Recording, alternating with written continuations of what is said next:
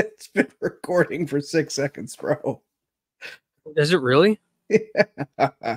Usually it pops up on my screen that it's recording. Oh. Welcome to the collective. Where you see now it just popped up on my screen. Good. Welcome to the collective, where you'll hear all things collecting and much, much more. And I Very can say that without getting my tongue all tied. I'm Zack Mo. I'm collector. So, collector, how Sir. was your week in collecting? My week in collecting was what did I do this week? I went to Woodbridge this week. Um yeah, since we those you last don't talked, know, to Woodbridge is a card show. Yeah. So yeah, I went to a card show this week. My personal collection grew by three slabs. I got a promo Gengar from 2016 that looks just like the Gengar from Phantom Forces or Phantom Gate. I got the Gastly Art Rare. Now that it's not $350 Which one? the Gastly from uh Temporal with with Haunter and Gengar on the card, where With Gengar's like chasing the Gengar's- Gastlies. Uh, he's trying to lick He's him. doing he's he's trying to lick. Yes, that one. Uh, I got that in both the PSA 9 and PSA 10. The PSA 9 is going in Zebins. Oh, Um, speaking of PSA 9s, would you like a Blood Moon and Luna for $45? put it up on Instagram. We'll yeah, see I what also happens. told you to put it up for 50 and you put it for 45 yeah, dude, because no one's buying it at 50 right now on my Instagram. We're gonna talk about buying it at 45 right now. well, it's only been up for a few hours, but we're going to talk about that this episode. We're going to talk about selling stuff. Um, the third card I got was the Altomar Aerodactyl, which is like an, a promo of the VS series. It's just it's a beautiful card. Um, so those were the three slabs I got for myself this week. I got most of them in trades. Um, I got a big error submission back from CGC, and I traded a few different errors to uh, to get a couple Gengars, and and then I I, somehow my ended up with Pikachu. Altomar. The Hollow Shift, you should. It's Yeah. uh that would be a good one. Um, other than that, almost everything else I did was was for the business. So from a business perspective, um, the week in collecting was insane. I Mhm. did one, probably one of the largest restocks I think I've ever done at like at one time.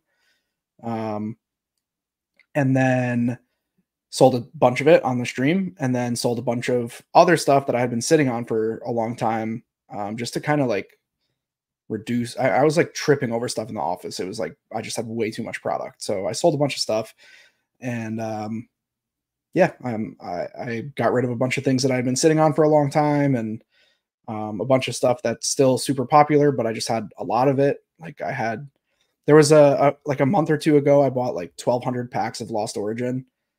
It's just like I did, I did not need that much, but that was what I needed to buy to get the deal done. So I, I sold off some of the Lost Origin. Um, I sold a, a bunch of stuff to uh, a couple fellow streamers, and then um, I sold a bunch of stuff to one of my good friends, uh, who's a sealed collector. So it was that was in that way it was good. I was able to get like a ton of good product and uh, sold off some stuff that was a little bit slower moving. Um, Sounds productive. good. Yeah, it was Yeah. productive. But as far as like my personal collection goes, it was a pretty slow week. I went in and supported one buddy's stream, uh, bought three packs of Pokemon tattoos, Merlin tattoos, they're rad, and one pack of Pokemon stickers that I didn't know were Portuguese, but they're Portuguese. and uh, got one more Kamiya artwork card that I happened to pull from a Breakpoint pack.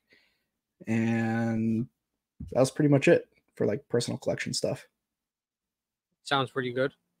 Yeah, it was not it wasn't a bad week. It was just much slower. The previous time we talked about my collection update, it was Collecticon, and I made like two of the biggest purchases I've ever made for myself between the pop vinyl and the Hanafudas. So, If I have to hear you talking about the Hanafudas on stream one more time, dude, it, it's if people ask me, I'm gonna talk about it. oh, I know. It's I'm proud of them. Oh, I know. um yeah so that's it like for my for my weekend collecting there really wasn't a ton else going on um Mhm. i did mostly actually selling and condensing my collection and i don't i think outside of pokemon i don't think i got anything either uh collecting wise this week um no new hats no new cigars no new stamps no new shoes Video games, I got a few. What you got? Like, Uh, well, I mean, I think you've been a part of most of them, but I downloaded a bunch of video games and I've been playing with my daughter pretty frequently, and then occasionally I'll play with my wife. My wife and I have been enjoying Monopoly and uh, Wheel of Fortune. My daughter really likes the mini golf game, so that was pretty awesome.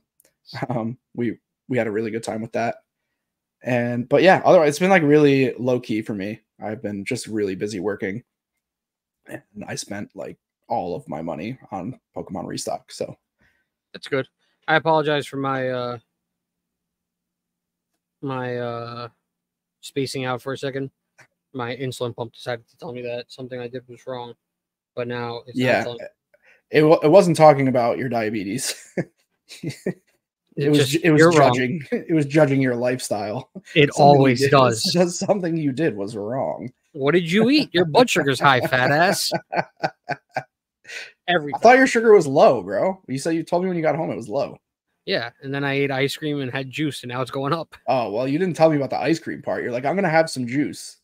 And then I found ice cream in the freezer. Well, okay, so now you got high blood sugar. That must suck. Like high Yeah. key. That's probably not fun at all. No, it really isn't. Yeah, 'Cause then I feel like shit. Terrible. Yeah, that sounds Yeah, awful. I feel I'm like sorry shit that when have I'm to deal low. with that. eh, it's life. It's the cards I was dealt. I'm just playing them. Um, I feel like shit when I'm low, so I overeat because I want to get the feeling away, and then I go high. I try to counteract it by taking insulin, but not all the time it works. Not every time it works. Not all the time it works. That was in English, Well, but yeah, that sounds less than less than ideal. yeah. 28 years so far. Still All right, well, you're growing strong. All right, so next on the agenda. Oh, sorry if you heard that big cracking sound. Uh, next on the agenda is the weekly market update, market recap.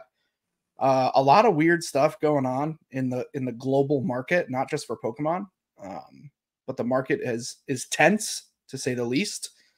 We saw on Monday, one of the worst days the stock market has seen in the last 22 years. We saw, I think the Dow Industrial Average dropped a thousand points for the first time in 22 years in a single day. Um, so a lot of people were scared uh, of what was going on. I actually posted an Instagram story that day that said "relax." it was like a video of a someone who's very well versed in stock trading, and the video, and then my comment was just like "relax, buy low, sell high." Unlike your theory of buy high, sell low. Uh, Always I buy high, sell low.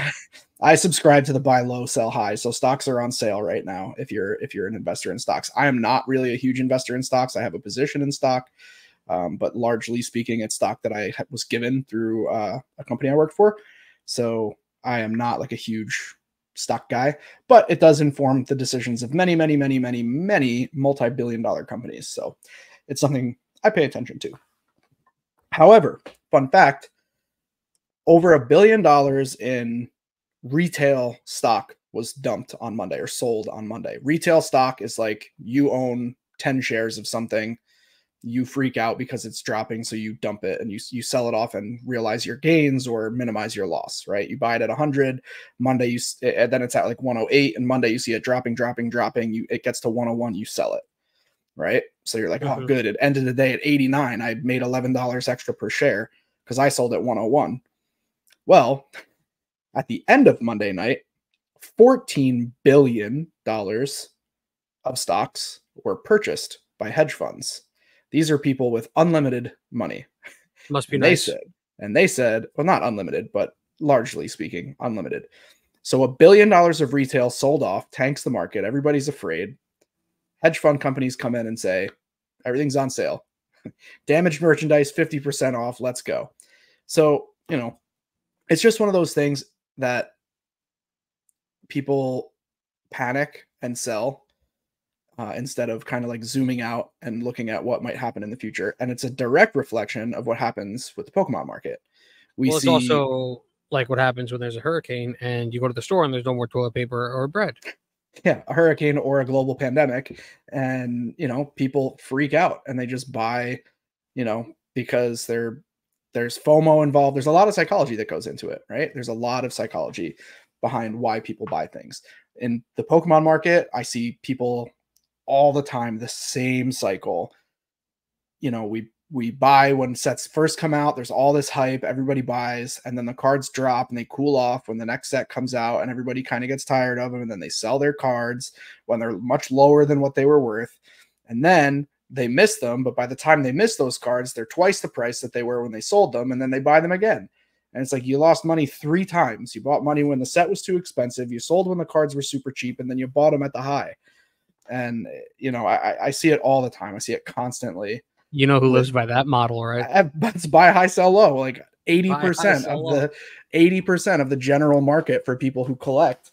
That's the way they collect because the the fear, the FOMO takes over and you know they don't want to miss uh you know the potential next big thing, right?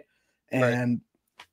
It, you know, we, will talk I, I think we can talk maybe a little bit more about the psychology a bit later, but the general market, not a ton of crazy movement. I think some of the most notable moves are Evolving Skies sleeved blisters, one of my favorite investments. Um, I started investing in those two years ago. Every time I went to Target, I would clear the shelves uh, before they put buy limits on them. This is when they were, I mean, I didn't have like, this is before I had connections to the Pokemon world. So I was just like a retail level investor.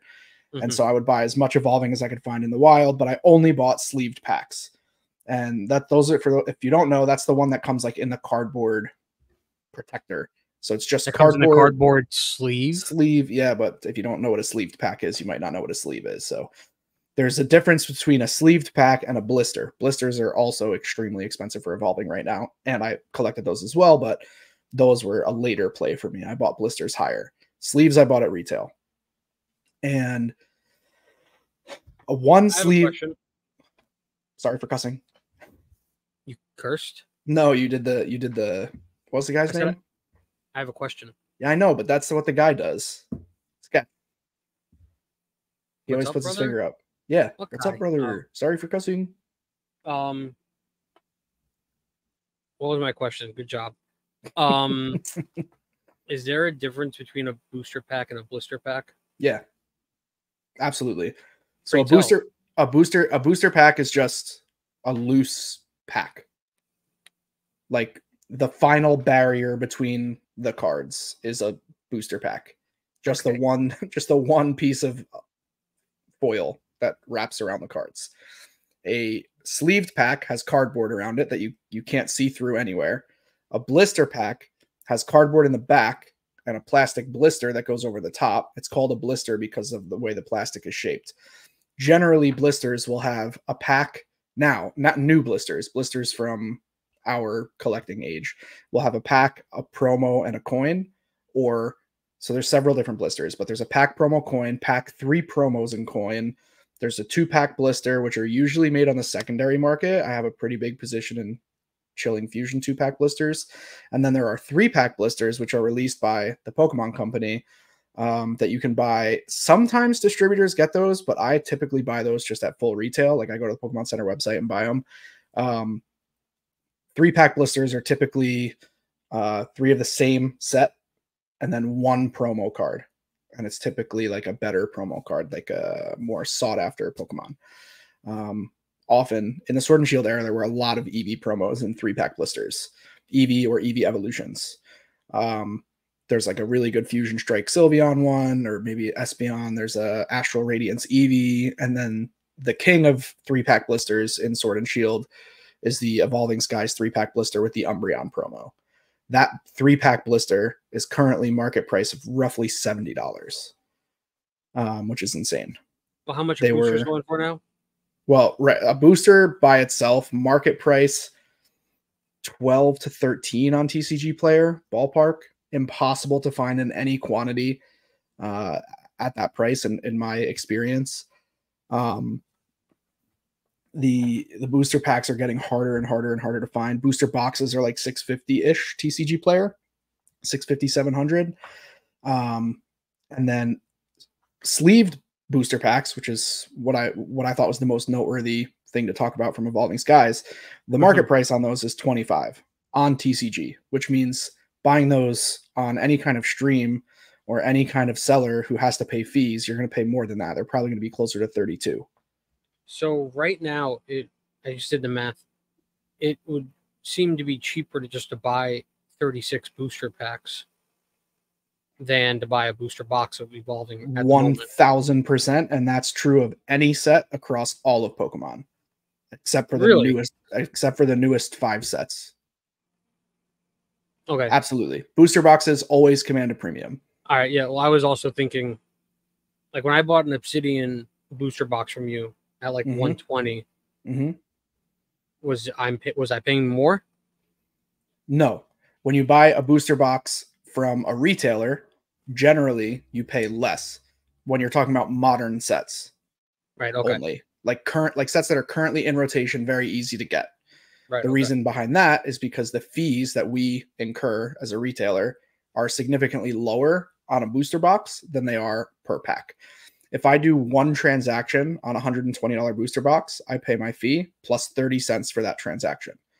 If I do 36 transactions, I play I pay my fee plus 30 cents times 36. And to Gotcha. lose 30 cents on a booster pack is a huge impact versus losing 30 cents on a $120 booster box. Gotcha. So if I have a booster pack priced at 399 and I lose 30%, I'm losing 8% of my margin on that pack. Plus my 6% fee means I lose uh, 14%. gotcha. So all almost all uh, e-commerce sites, like Shopify is a really popular one. Um, there's many others. They all charge transaction fees. So this Right. is this goes beyond all the percentages that they take, the credit card processing, the money that they need to make. They also just charge you a straight out fee per transaction, and typically those fees are around thirty cents per. Um, so when you sell what like my experience is when you sell loose packs, you have to sell them at a 15% higher price overall or whatever 20% To cover the fees. to cover the fees Gotcha. and also to cover the fact up to cover the shipping to cover everything else that's involved with one single pack being sold um, there's a lot of time that goes into each particular sale after the sale is made like for example in my i mean on my stream if most of the people who listen to this podcast watch my stream or know of my stream but every person who purchases off my stream gets extra stuff. If it's their first order they get an extra five v cards. If it's not their first order they get a business card a sticker and then whatever my postage is. So like the like the bubble mailer or the box or whatever i ship it in a sticker is like five to eight cents depending on which one they get the business card cost comes down to like less than a penny but if you multiply that by over you know a thousand orders it makes a really really big difference so selling a thousand loose packs well let's just say 216 packs i can probably do the math right now 216 He's gonna do the math. yeah, I'm gonna do the math. 216 packs times eight cents per. That's seventeen dollars and twenty-eight cents per case of booster boxes, just in stickers. If I sell them one pack at a time, Okay. so I would make uh, per case. I would make seventeen dollars and twenty cents more if I sold as booster boxes, and that's just the sticker. I pay eleven cents per bubble mailer times 216. That's another twenty-three dollars and seventy-six cents. Uh, the business cards, let's just call them a penny. That's another two dollars and sixteen cents. So between those three items, you're looking at a difference of fifty dollars a case in extra material that goes into selling packs. Gotcha. And for me as a, Um, sh- a streamer, it's different too. Sorry to keep harping on the same thing, but I think it's an interesting question. To me as a streamer, and maybe this is wrong, maybe people hate this about me, and this is maybe reasons people leave my stream. But if somebody buys one pack or two packs on my stream, I try to create a like a gr- I want that experience for them to be just as impactful as someone buying 10 booster boxes. In fact, oftentimes I will treat that person uh I'll, I'll give Choose them your more- words wisely. I'll give, I'll give them more. Like I want them to understand that they're equally important. So I'll give them more free stuff. I'll throw in extra cards, whatever the case may be. I'll give them the time that that I would want to receive on a stream because there was a time that that's all I could buy. I have an issue with one of your statements. Let's go. Let's go. You said you always give out free shit. Yeah, you got a sticker and a business card at minimum in every order. Well, all I oh fine. That's all I ever You're did. talking about you're talking about like free V cards and free EXs.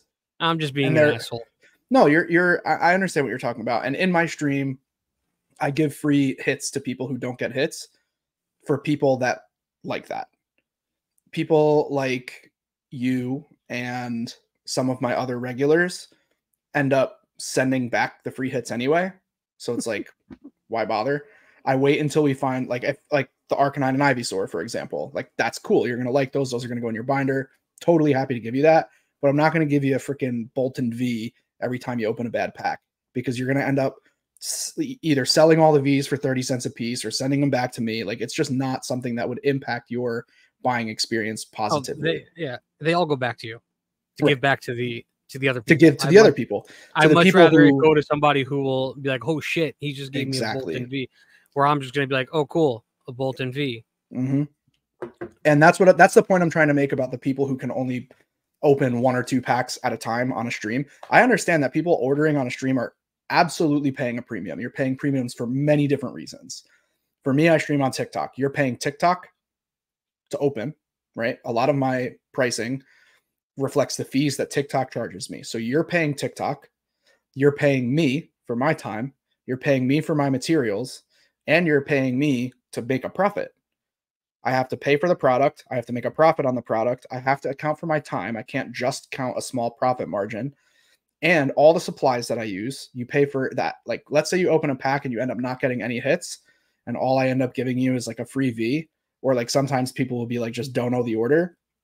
Mm-hmm. You're still like part of the price is the fact that I have to buy 10,000 penny sleeves a month and I have to buy 4,000 top loaders a month. That all goes into the, the cost of the pack. Otherwise, I, just, I, would go out of business. You know what I mean? Yeah. You also just uh, navigated away from what you were originally saying. Specifically yeah, we were, to the person you were saying after I said that, I'd rather go to somebody who's gonna be like, "Oh shit, a Boltund V." You said that's why I do that with people who buy one packs.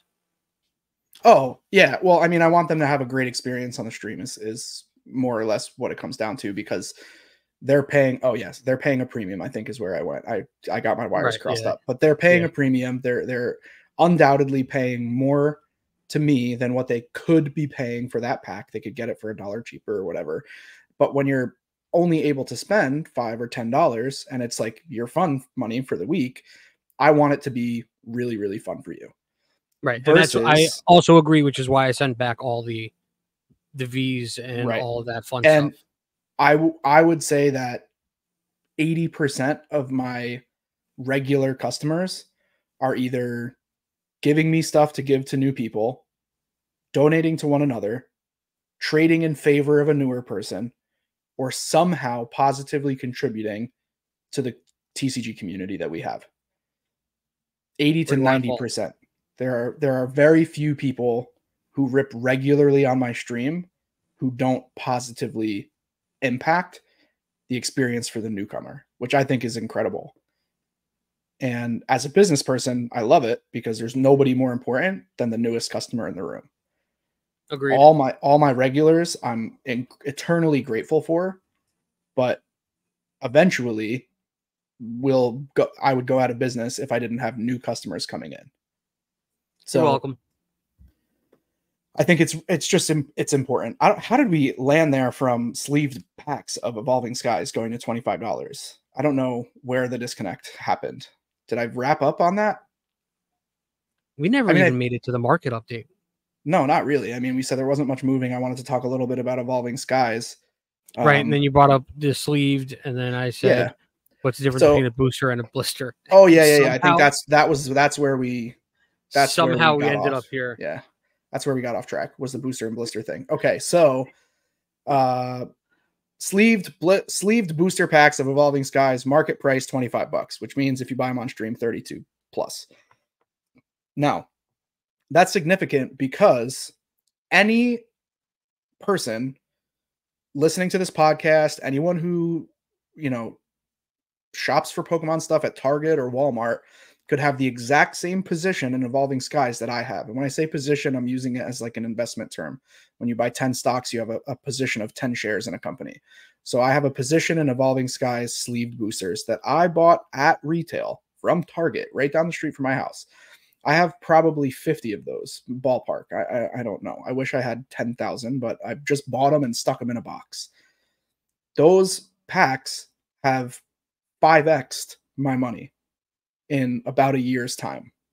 Now, it's theoretical gains because I have to sell them and we'll talk about the joys of selling, but anyone could have done that. And I bought those packs before they were more than $5 a pack. I bought them mm-hmm. when that was the regular price of the pack. And that's what I think is so cool about investing in the English market. Japanese market's very difficult. The Jap- Japanese Pokemon market is extremely volatile and you have to be very, very, very tuned in to invest. But the English just- market, Yeah, I just interrupt you. yes. I think it's funny we're talking about buying and selling and all that. I just got a message from Facebook Marketplace that someone wants to buy the Blood Moon Ursaluna at fifty dollars. Perfect.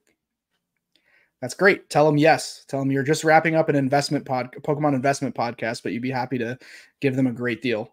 And then I'll send uh, them a in the link morning. Yeah, yeah, yeah. Link them in. and then a picture like this. so there you go. I got to take it down off my Instagram. Um, Facebook Marketplace, well, we need to talk about for sure. That's a very uh, good It's my new Good. best friend. good way for yeah for uh, an average consumer to sell Pokemon stuff. Um, I am your average consumer. yeah, I think you rep. I mean, you represent the average consumer market of Pokemon. Uh, you know, you you're someone who enjoyed the game as a kid, who enjoyed collecting as a kid, got out of it, got back into it, either during 2016 or or during the pandemic, and now you buy and sell Pokemon on a as a Do you hobby. like keep track of when I got back into it? well, 2000. I mean, that's not when you got back into it. That's when people got back into Pokemon. Like XY I started Evolutions, buying again when Evolutions came out. you and every other Pokemon investor. That's why stuff from 2002 to Oh, 2016. no, I'm basic. You're not basic. You're just following the same trend as the rest of the market. But that's why everything from 2002, 2004 to 2016 is printed way, way, way, way, way less than all the 2016 sets. And then there was Sun and Moon, 2017 to 2019, Sword and Shield, 2019 to 2021, 22, and now we're into Scarlet Violet. Um, so, Evolving Skies, 5x in price. I have positions in all sleeved booster packs from the Sword and Shield era. I bought at least one art set of every pack that was available on the shelves when I was collecting cards from the Sword and Shield era and just stuck it in a box Mhm. because it's very hard to be a picker of sets like to say like this is the one that's going to be worth all the money there's usually one in pretty much every generation that's the one team up for example in sun and moon currently evolving skies. We had cosmic eclipse another great set uh, also sun and moon. That's like half as expensive as team up but still very very strong. Um so it's hard to pick like who what's going to be the best set in scarlet and violet? We don't know. There's no sleeved blister sleeve booster packs of 151 so that five dollar investment price point is not really an option for 151 um, but i i do believe that even just buying a pack a, a pack of each art type so there's usually four so that's a $20 investment and just sticking it in the closet for a few years can yield you very very good return. And we saw that with evolving skies. We're, we're going to see it with all of the sets. Evolving skies will continue to go up and all the other sets will continue to go up. I might and do all- that. I it's a I think it's a great way for people to invest because there's a lot of this like these big investors on YouTube and you know TikTok and whatever, and they talk about investing by the case of booster box. That's not Right. obtainable. That, that's what I'm used to hearing. Right. That's not obtainable. So when I first started this, I was a pack at a time kind of buyer, and I would I I assembled art sets on weeks that I couldn't afford all four packs. But like if you go to Target or Walmart or your local grocery store, whoever sells Pokemon cards near you, you can pick up one pack of Obsidian Flames. You know, as long as they like regularly stock their Pokemon cards for the next six months, they'll be available easily. Right? Or Twilight maybe will be a little harder to find because it's kind of hype right now, but like whatever. uh, There's no like crazy mad dash to buy an art set of packs. And it's a modest investment that you can hopefully get some good returns on in the future. So I don't plan on selling my Evolving Skies. That's not why I'm bringing it up. I just thought it was really, really notable that they moved all the way to 25 a pack. And they're just going to keep going up. Sealed market pretty much keeps going up. The demand for sealed is there. The supply dwindles as we open more and more and more stuff. And the price naturally just goes up. That's what we're seeing with 151. The supply continues to drain. Everybody's talking about a reprint, but I haven't heard anything confirmed. You see the prices go up on all the sealed product, Alakazam boxes, Zapdos boxes, all those boxes, they all go up in price because there's less and less out there and more, and you know, everybody wants to open them because that's what Pokemon cards are for. um, so herein lies the issue. What happens when you don't have a massive platform of customers and a website and an established business and it's time to sell Pokemon cards? You do what you, I did. All right, so let's you you take over because I've been talking for like 20 minutes straight. What happens? What tell us about your experience? You're welcome, everybody. Um, so I had initially, did I even post them? Uh, no, I didn't see them no. in Discord. The the singles that you sold, I didn't see in Discord. There was a reason for that. I don't remember why I didn't put them in Discord. I think it's because whenever I put something in Discord, everybody thinks I'm joking around and nobody ever buys.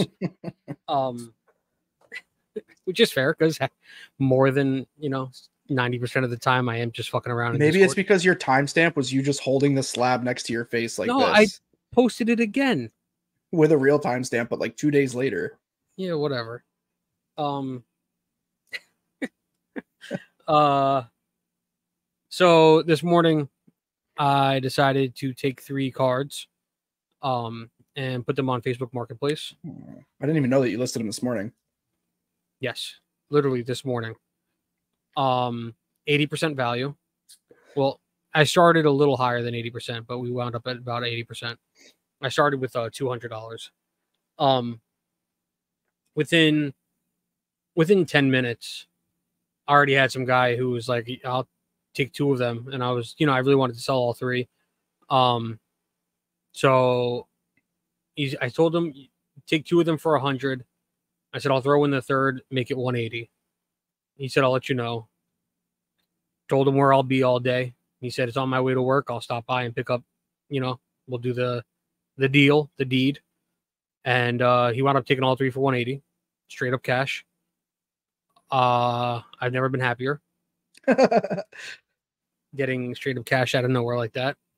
It was a super good experience, in my opinion uh, being my first time ever selling on Facebook Marketplace. Mm-hmm. I got maybe six or seven people that did contact me, and I told them all like, "Hey, I'm in talks with somebody right now. If it doesn't go through, I'll let you know." Everybody was super cool about it. They're like, "All right, yeah, cool. Let me know." Um, so I did just read that one message. That it wasn't for the Blood Moon Ursaluna. That was somebody saying that they wanted to buy it, um, buy the the three cards. Oh, okay. it was already sold. Um,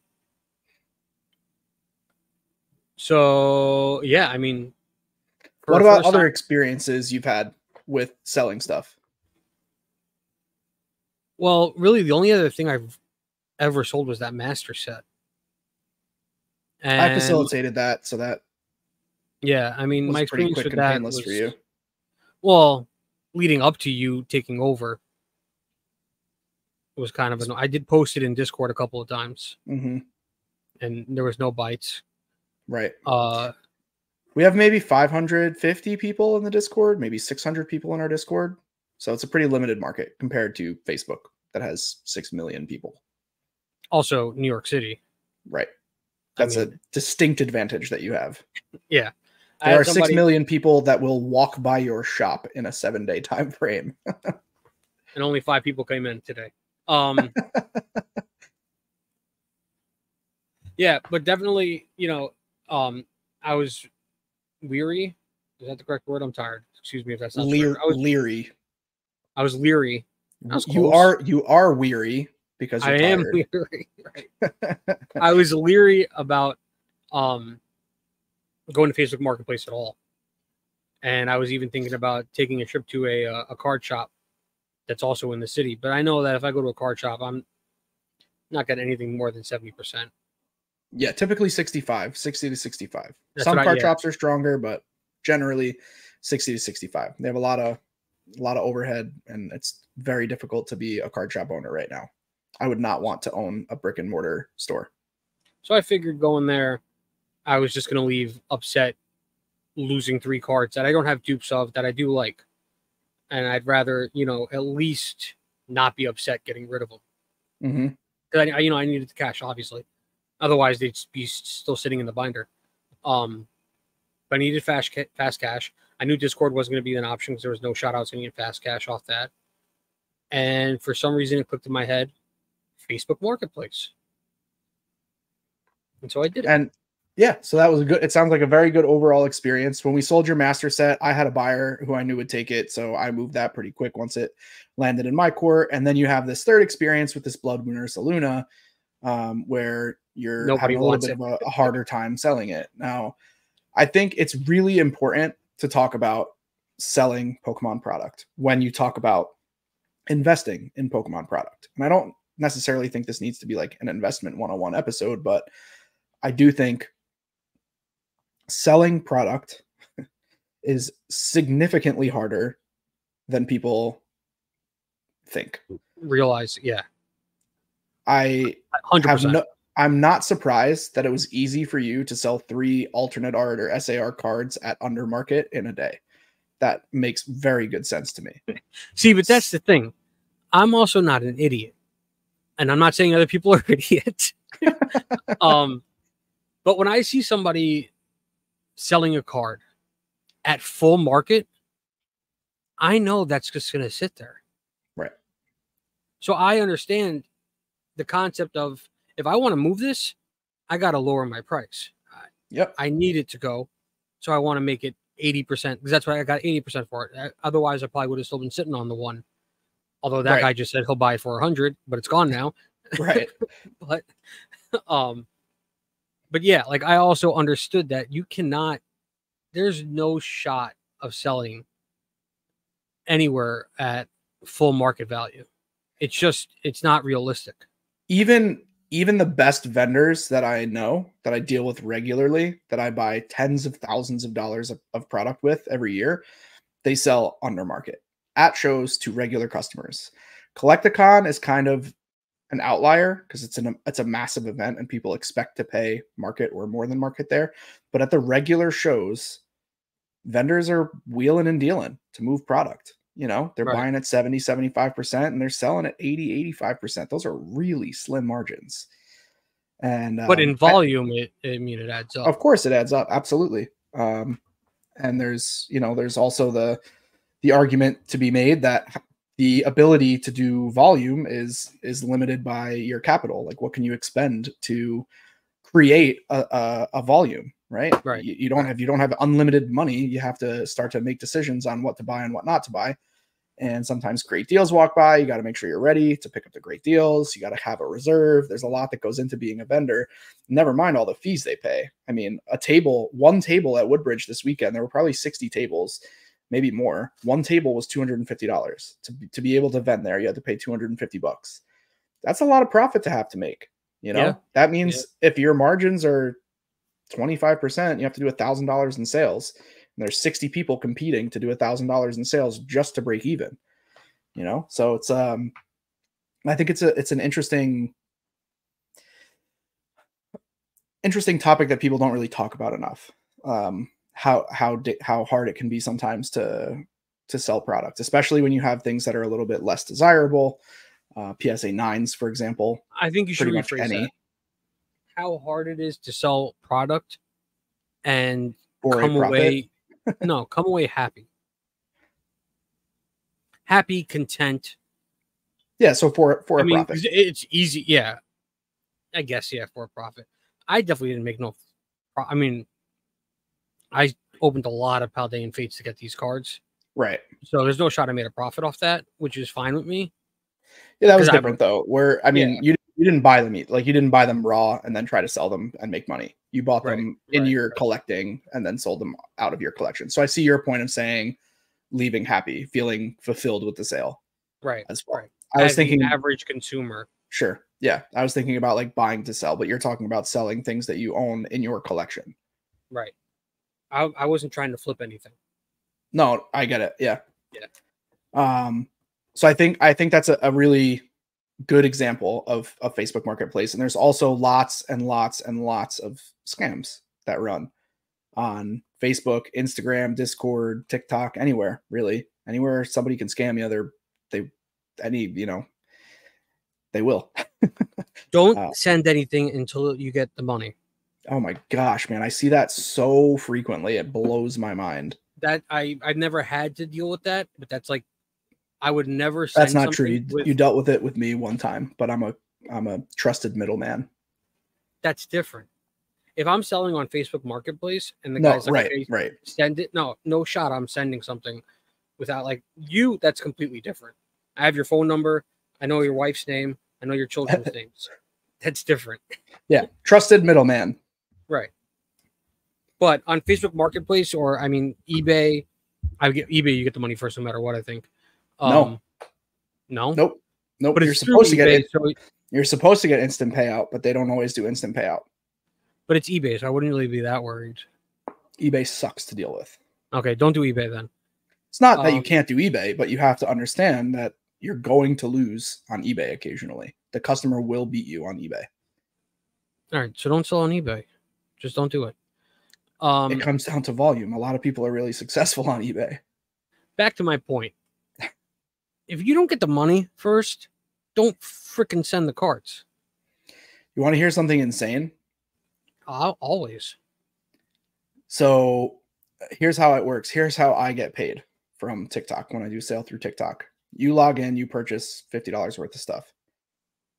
You buy an ETB. Let's say an ETB is a good example. You buy one ETB.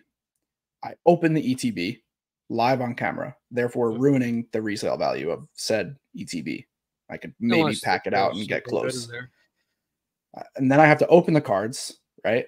And once they're once the packs are open, now I really have virtually no resale value unless there's a good hit. But I try not to build a business on gambling. And then I have to ship you the cards. And either I don't get paid for any of this. Once USPS scans it as delivered, then I get paid. That's different. You wait, you as a customer can dispute said delivery. And they have there's something called a reserve. No, I mean it is what it is. This is people I've this has happened to me. It happens. There's a reserve. So TikTok holds a portion of my money in reserve indefinitely. Like they just have like a chunk of money. And if I get like a chargeback or a customer says like, "Hey, this isn't what I ordered," they pull it pretty much immediately refunding the customer, and then I have to fight. I have to prove whatever. Now I open everything on live, so you know whatever. I, I When have- I'm saying don't send cards unless you get paid, yeah, I know what you're talking about. I'm just saying it's insane. Like how the the setup of TikTok is insane. If I hmm. do twelve thousand dollars in sales in a week, I don't get any of that money until the product gets delivered to people. I send out twelve thousand dollars worth of product with zero dollars coming to me until it gets delivered. as a consumer, that's fair. As a retailer, I understand that's insane. Yeah. Now it protects the consumer, which I like, right? Like y- you know that I don't get paid till you get your stuff. And that's good. But as a retailer, it makes it very difficult to sell because that means I need 3 3 weeks of rolling inventory capital in order to sustain my sales. Which is Gotcha. difficult. Now, that only applies to TikTok because you also have a site, Yeah, so Shopify I get paid a lot faster on. right? Okay. Shopify payouts are essentially like 48 to 72 hours. Like I get paid before I ship anything out from Shopify, All right, that's not bad.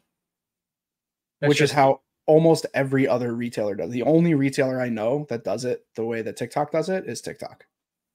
Hmm. Amazon doesn't do it that way. eBay doesn't do it that way. All the big guys, nobody does it that way. That's does. interesting. Again, safe for the consumer. Right. What? Because it's and it's honestly they needed to do it that way in the beginning. I've ordered stuff on TikTok and then like I ordered a chair, like a desk chair, like what I'm sitting in, Mhm. and I received nothing. But I got a delivery notice saying it was delivered. I don't know how they did the scam. And Now, I've ordered something from you once, and I got an empty package. Mhm. I'm fucking knew with that. you. no, I do that. Did you actually? Because I do that a lot. Uh, I might have, but that might have been my own fault because I ordered like two packs. So I, I there's just glitches needed that to happen. get, yeah, yeah. and in I- I order for me to get payment no it's it's it's it's annoying and I, i'll talk about it as a seller it's another annoying thing in order for me to get paid, I have to send something. So I'll Right. often send an empty package with a little note inside of it and a thank you card and a sticker. And it say like, "Hey, TikTok generated two labels," and then I send it. That's why you against- also often hear you on stream with like somebody says don't know the pack. You say, "Well, I have to send you something." Right. Yep. Yeah. And I'll send whatever a thank you card, a note, whatever it is. And it's a it's another added expense, uh, just for no reason. I just have to send it. I can't combine the orders for whatever reason. There's a glitch. It thinks it's in a different warehouse. Shopify, Shopify, and TikTok have two separate warehouses. Like in the digital universe, they don't actually. Everything's in the same room, but digitally speaking, TikTok thinks that like certain products are at what's called like the US pickup warehouse, and other products are at what's called the Shopify warehouse. And even though the addresses of those two places are identical, they still get shipped from different warehouses. different- So if you buy like a pack that's listed in the US pickup warehouse and a pack that's listed in the Shopify warehouse, it'll split the order and I have to send two packages. And for whatever reason, things just randomly get changed to the US pickup warehouse. Almost everything's in the Shopify warehouse, but whatever. It happens all the time. Interesting. Happens at least three times, four times a week that I have to send double packages out. That's interesting. The crazy world of the other side of the average customer. what happens on the other side of the camera is not smooth sailing most of the time. It's it's No, a, it's complex. It's for sure. Sitting there sweating, thinking, "I hope they don't dispute this."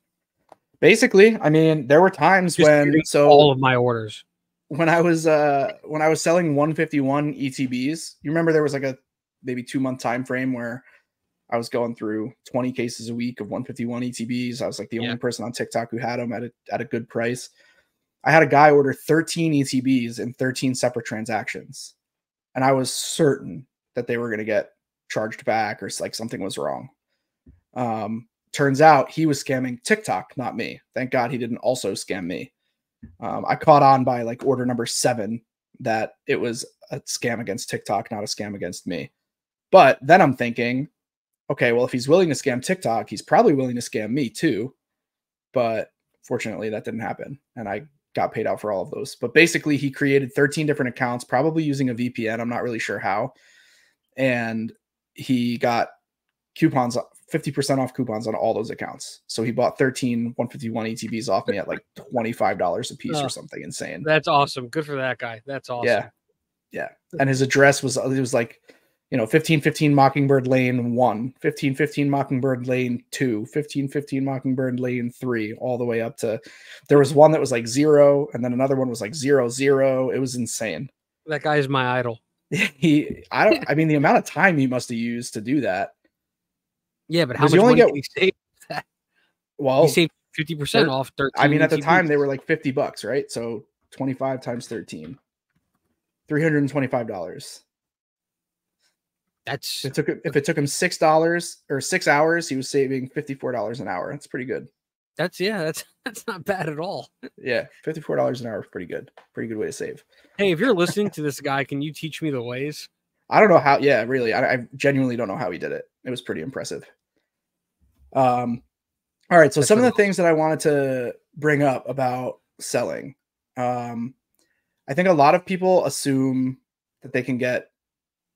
They like pull a card and then they look it up, and they'll see like the number on price charting or the number on TCG player, and they'll just think like, okay, this card is worth four hundred dollars. I can go tomorrow and turn this into $400. That's like very rarely the case. I also think that people don't know how to use price charting. I think that's another common error. And people just look at that first number up top and assume that's like a fully accurate market price of the card, and it's not. It's mm-hmm. like a rolling average of sales, and almost any educated buyer is going to go and look at all of the actual last solds and take only the most recent ones to come up with a more realistic number of what the market's actually doing. right. Um, so those are just like two common pitfalls I see. Um, people also don't condition their stuff, and that's huge. I can't tell you how many times people have tried to sell me collections. They're like, "Well, this card's worth $150." Like, yeah, but it's folded in half, man. Like, it's not. It's worth four dollars. I don't know what to tell you, and I don't even want it now because it's folded in half, and you didn't tell me that, so I can't do anything with this. And I mean, I think there's also like some minutia between like near mint, light play. When you go on TCG player, it's near mint, light play, mod play, heavy play, damaged. When you go into like discords or like Facebook groups, there's like, you know, front near mint minus back LP plus like for one card. Like what the fuck are you talking about? The card is lightly LP played. Plus.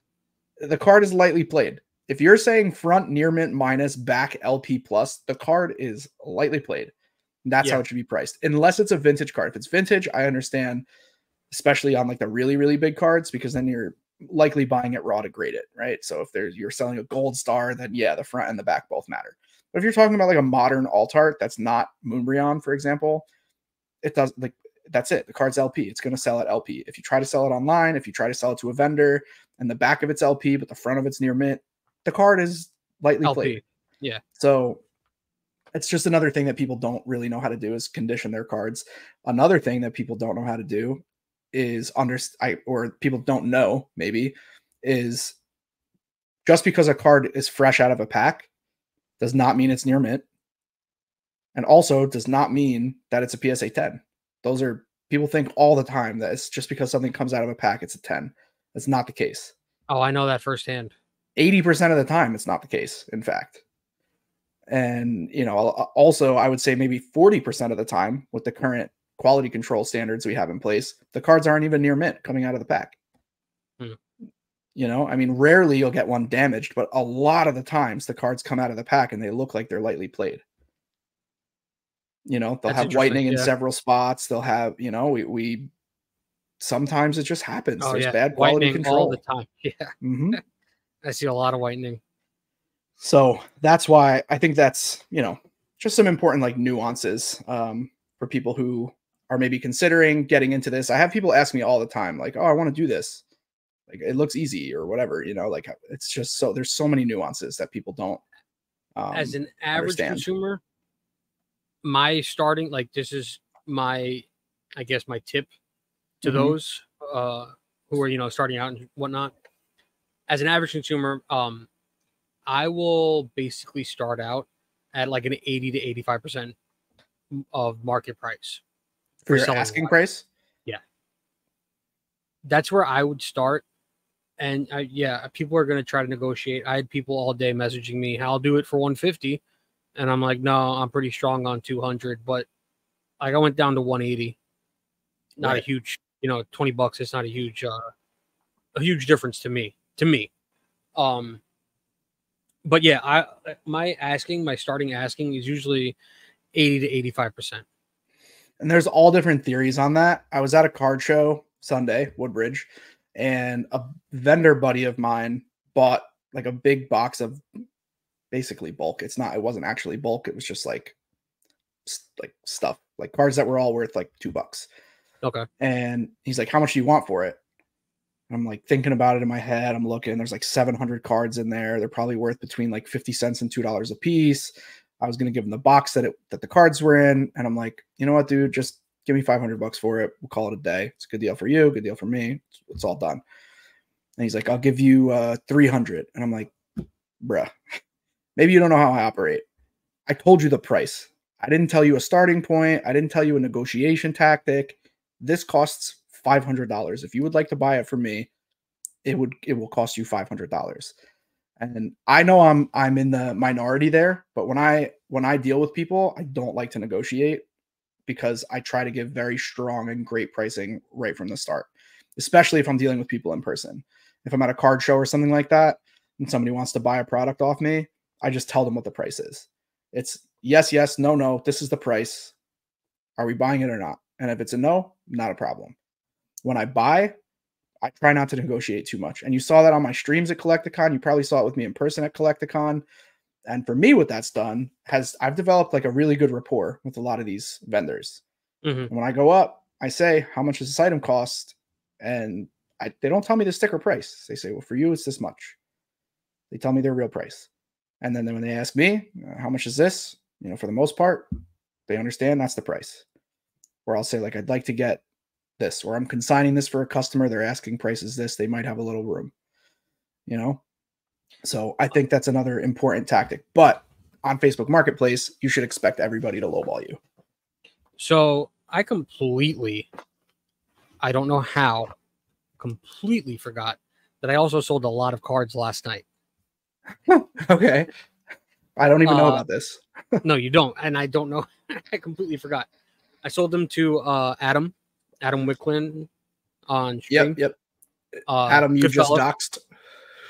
I didn't. No, I didn't say the full thing. yeah. Oh, now you know it's really not his name. I do know that it's not his name. Um, what? Twenty-seven people listen to us. Adam's one of them, and the other twenty-six all know him. Um, so I had a bunch of dupes from Paldean Fates. Uh, I had thirty-six baby shinies. I had um, thirteen full art trainers, like eight full art uh, Pokemon, three super, uh, three ultra rares, and the Nemona SAR. I sold it to him for 120. Now, I don't even know the percentage of what everything was worth hmm because I was too lazy as the average consumer to sit there and you know price every single thing out. But I did look at what was expensive, and I had a good amount of cards in there that by themselves could have gotten me. Um, I know it's not actual, but like market price was like ten and twelve bucks. So there was at least, I don't know, seven or eight. So if you're looking at it, that could have gotten me fifty to sixty alone. Right. Um. So what instead of what? Because I know that like three of the two of the baby shinies were around like uh ten bucks. Um. So like for the baby shinies, what I did in my head was I just priced them at two fifty to three dollars each, Yep. and then just was just like, all right, I think one twenty is a fair price. The The main card in there is like the Nemona SAR, and that was like twelve dollars on mar- on uh, price charting. So I thought 120 was a fair price. Also, it's going to Adam. I like Adam. Right. Um. So I, I don't. Why did I bring this up? Uh, we were talking I about guess- negotiating and not versus not negotiating. I think it was more along the lines of as the average consumer. I'm going to stop saying that. Um, pricing wise, like I I know that I, I wasn't going to get ten dollars for this card, ten dollars for this card, ten dollars for this card. Right. Then again, I also wanted to make that quick sale. So in my head, I Mhm. was just like, all right, 36 baby shinies. When I was at the card show, when we went to Collecticon, um, all the baby shinies I was buying, I was buying for like three to four dollars. Right. So I priced them similar, similarly. um, and just sold them. It was a quick and easy sale. Yep. And I think that's, you know, people should stop fretting over 50 cents. I see people like, there's this one guy I deal with, and he'll spend an hour literally negotiating with me over $10. Yeah. And it's like, dude, you just valued your time at $10 an hour. You're Yeah. making a $5,000 purchase with me. What are you doing? That's Why yeah. are you wasting my time and yours? I told you the price 17 times. This is the price. I'm not giving you a discount. What are you trying to negotiate for? There's no Yeah. need. I wasn't going to So- sit there and say I have a Scyther baby shiny. It's worth twelve dollars. I want ten Right. for it. Like here's Right. thirty six baby shinies, three dollars each. Yep, there you go. That's the way to do it. There you And go. that's why it the way to sells. do it. That's why that's why it's sold, you know? Yeah. So I, I don't know. I, hopefully, uh, hopefully this is interesting content for everybody listening. Let us know in the comments what you thought of the idea of talking about selling Pokemon. Um, I think it's an important topic to cover because people really don't understand the the nuances or the ins and outs of being able to sell the product that they they end up with. And I think it's a good part, a good way to get educated. I think Um, yeah, I think this was a good um way for people to see realistically how it's going to work if they're planning on selling things that they've they've never sold before. Like I I barely ever sold. I did two sales in the past two days that went like that. Yeah. But I still have the Blood Moon Ursaluna that's not going. Right. Yeah, it's a little bit less desirable, and the the way that people get the fifty five dollars or whatever the market price of that card is out of it, or sixty dollars, is by selling it on TCG Player or eBay. I personally really really like the card. I was hyped on it, and I think I still think you made the right decision by not trading it because you likely statistically would have ended up with a twenty dollar or thirty dollar card. Don't get me wrong. card. I like the card. but you like like sixty dollars or $50. fifty dollars more right now. I totally get that. Yeah. Most likely, I'm going to wind up keeping it because I don't see it going. I could It be might. wrong. You never know. Yeah. Whatever. Maybe I'll buy it do, on uh, Saturday. It's time, want- man. I'm pulling it up right now. Rankings. All right. I'm gonna do some rankings. It is time for our weekly rankings. Now I'm gonna have to start doing that every goddamn Mm, episode. I hope not. I hope that we don't do that. oh, right, you don't so- like it? I did not. What are we doing now? Uh, how do we do this? Uh, We've only done it a few weeks in a row. Do we do a list of 10 and then a second list of a battle party with six? We do, Yeah. we rank 10 blind and then we make a battle party out of a, out of six, right? Right. The first ranking, the blind ranking, the ten, is just our personal favorites, Right. And then and we then do, we do an party. actual battle party. and we're doing Gen 3. Right. Um. it- only Gen 3 Pokemon. Right. Um. You just said it's a one. Yep, I did. We're good. Okay. Uh, the other thing we also started doing with last week's uh, ranking was we did, uh, I think it was like 15, and we chose from that 15 for the battle party. Oh, yeah. We did like three, didn't we? No, we did like 15 because No, no, no. I mean, we did three separate rankings. We did like Oh, this one, Yeah. then a battle party of six, and then made a battle party out of 15 Pokemon. right. Wait, no, don't we extract the battle party from the list of 10? And then we did a second list? We definitely did. No, no, we That's didn't. right. Let's we'll make the list of 10 first, and then we'll do the next things. Pokemon number one in the random generation. Ooh, Tropius. Mhm, Huh. Tropius is dope. What do you mean? Uh mhm. Hmm. I hope I don't regret this. This is so tough.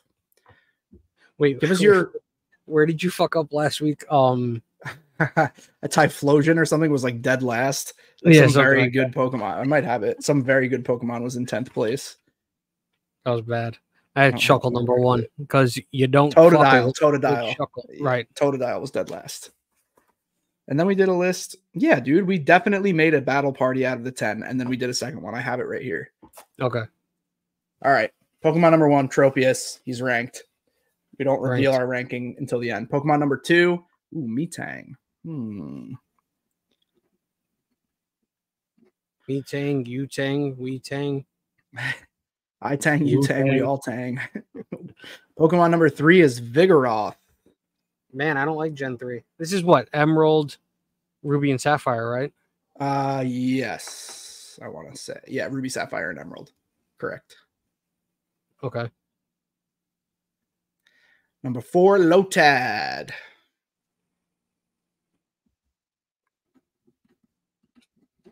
Okay. Number five is Swalot. All right.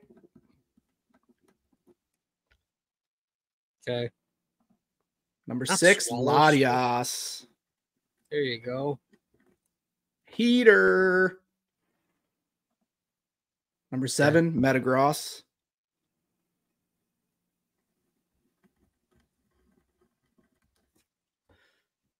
That Ready? mattress. Yeah, dumb phone. Mattress. Mattress gross.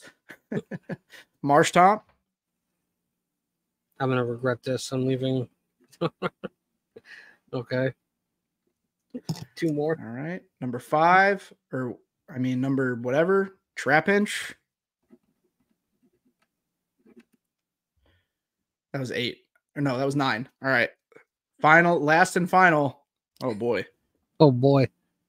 Swampert. Yeah, I'm not mad at it. I mean, he does not belong where I just put him, but that's okay. I'm not the list isn't terrible. The list is not terrible. Okay. So for your number 10, what do we Swalot. got? Lotad. All right. I respect it. Number nine, Lotad. Sway a lot. okay. Uh, eight. Vigoroth. Tropius. Not a fan. Uh, I don't mind Tropius at all.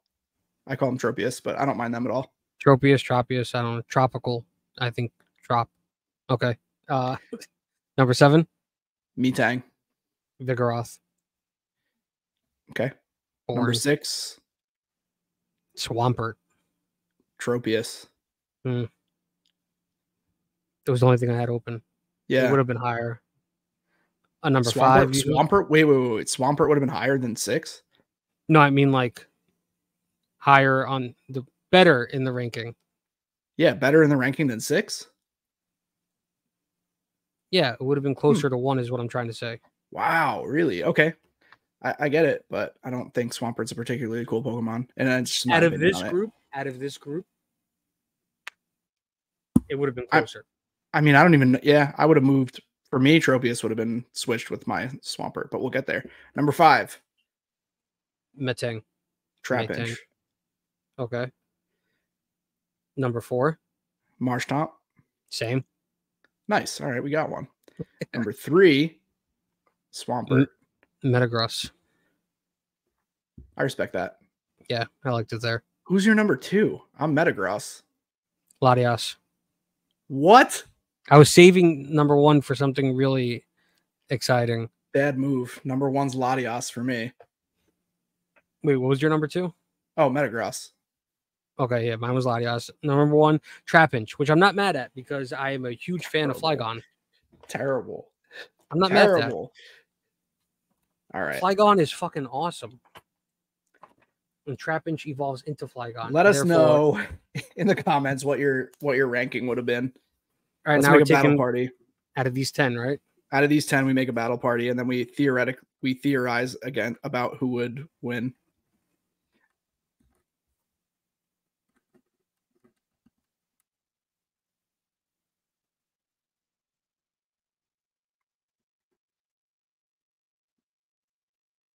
Ooh, this is tough. This is tough. All right, I got mine. I think we're gonna have I'm gonna have a dupe no matter what I do. I made sure I didn't have a dupe.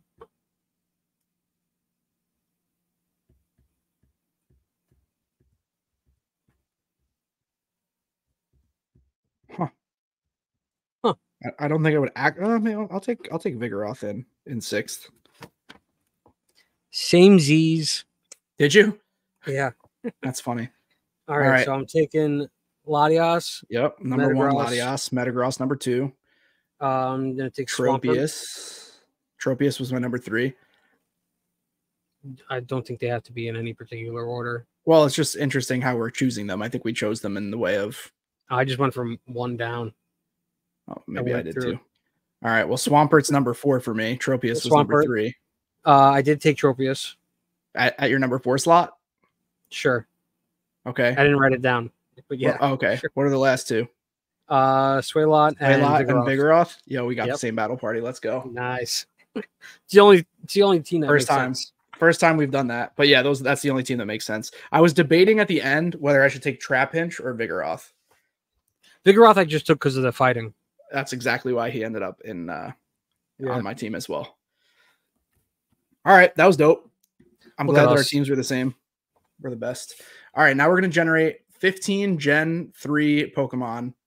And we're gonna make and a we're completely gonna new. each we're gonna each make a battle party, a totally new battle party, and then we're gonna fight them theoretically. Oh Wow. boy. All right. Azurill, Metagross, Swablu, Wingull, Speed Deoxys, Kirlia, Dustox, Groudon, Minun, Pelipper, Silcoon, Taillow, Duskull, Normal Deoxys, and Lunatone. Can we take both Deoxys? I mean, yeah. Or should I like there might be like some kind of filter that it won't allow for uh, a dupe like that. I need these PNG files to make emotes. These are really good PNG files. Let me see something. Yeah, I could make a filter and run it again so that it wouldn't give us Deoxys twice. Okay, do it.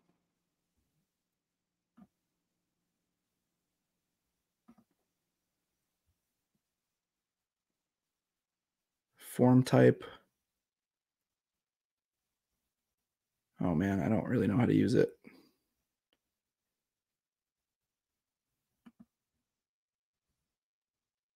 Maybe like that. We'll just run it. That should be default only, Okay. like this. So those might be default. Yeah. Let's see if I did it right. Nope, not even a little bit. That was not default. Oh man, that list is so much better though. Okay, hold on. Taking all of them. Let's just try this and see if that works. That could be this. Yeah, that's the one. I had it right the first time. All right, so here it is. Okay. Oh wait, no, it's not. It has amp toxicity, but either way, there's no And dupes. it has Dewgong. Dewgong shouldn't be in there. Oh, or yeah, Ra- uh, right. Raikou. Why is it doing that? Go to generation. Oh yeah. All right, let's try this. Okay. That, that God. looks right. Oh, all right, here we go. You see all of them? Ludicolo. So for those of you that are just listening, Ludicolo, Lileep, Shelgon, Relicanth, Wingull, Absol, Spheal, Chimecho, Shuppet, Dustox, Walrein, Solrock, Lotad, Swellow, and Shiftry. What a Hmm. team. Dude, this is a rough week. There's no shot we're not choosing the same team.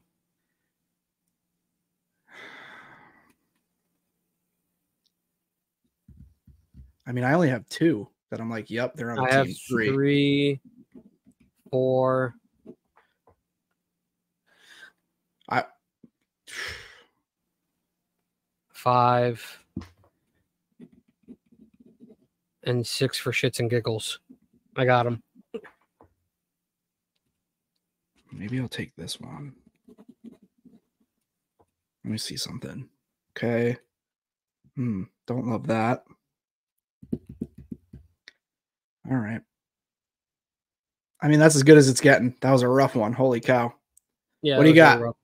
I'm taking in no particular order. Uh, Ludicolo, Not even on my list. Also not on my list. uh, Absol for Special K shout out. Yeah. Um, Walrein, Yep. Shiftry, and for shits and giggles, Relicanth. I think I beat you, honestly. But Probably. obviously I do because I picked my own, you know, I picked the team that I thought was strongest. Walrein, Absol, Shiftry, Lileep, Solrock, and Shuppet. Solrock was a very high possible on my team. So Yeah. was actually Shuppet. Yep. Um, I think as far as like actually having to battle these two teams, I would rather have both of those than Shelgon. going in with Walrein and losing and leaving. I, Walrein's actually pretty tanky though, and has ice type. That's why I'm going in with Walrein, and that's it. Just Walrein, Yeah. but you're battling against the same batch. You know what I mean? Walrein, Absol, Shiftry, Lileep, Solrock, Shuppet. What were yours again? Uh, Ludicolo, Shelgon, Relicanth, Absol, Walrein, and Shiftry.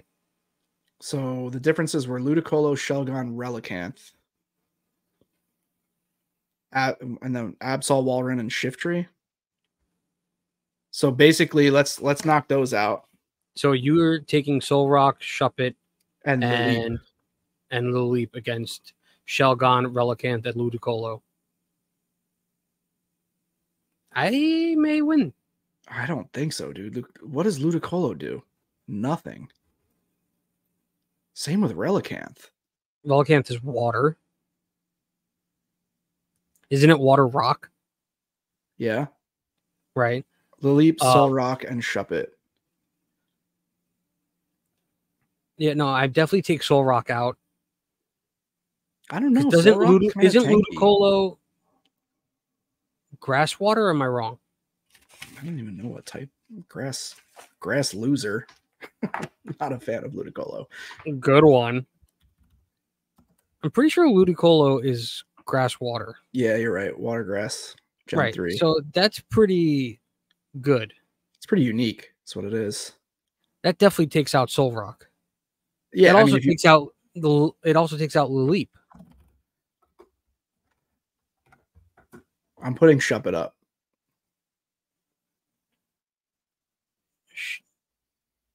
You're Why right. is Ludicolo so strong? Ludicolo is a fearsome sweeper in the metagame by virtue of its access to Swift Swim, which allows it to outspeed the entire unboosted metagame metagame under rain. So if it were raining, I'd really be hosed. Yeah. I picked the correct team. Yeah, Ludicolo is a stronger Pokemon than I gave him credit for. Dude, bring me back that Gigantamax Snorlax. That was that would have been awesome. Ludicolo takes out Lileep and All right, whatever. Solrock. Ludicolo, fine. No big and then. Relicanth is just having fun. I, you know what? I, either way, I'd be embarrassed to have your team. So I'd rather lose with a good team than win And with a bad me team. and Ludicolo will be sitting there like kicking y'all's ass. Uh let us know who you take. Nobody let us know last week. Let us know this week. let Yeah. us know. Comment, engage, do some stuff. I'm gonna try to get a guest. We were supposed to have a guest on tonight. It didn't work out. Um, we need to figure out how to uh, put some like hashtags or something to get this to get some growth going on the podcast. Um, also, please comment ideas, put it in Discord, something. Give us some more ideas. We struggle every week to think about what you guys want to hear about. So let us know. I don't struggle, he struggles. What do you mean you don't struggle? You I don't sit here and about- we're struggle. gonna- We're gonna, yeah. You just wait for me to come up with an idea. We'll then talk about go off the cuff. off of the cuff of my idea. I am the I am the out. I'm the brainchild of the collective. I'm Not Unbelievable. disagreeing with that. This was Unbelievable. idea. That's true. It was my idea. Uh anyway, thanks for tuning in. Let us know what we should talk about next week We have fun. and future weeks as well. I'm gonna probably cook something and then maybe play a little bit of Red Dead. I was gonna say if you wanted to just go on Red Dead because it's already twelve thirty. I gotta eat, but we'll figure it out.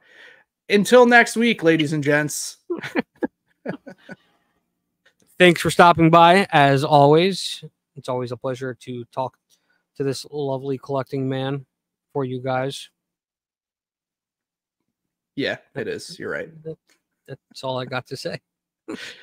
All right, ladies and gentlemen, thank you for tuning in. See you next week. Bye. Bye.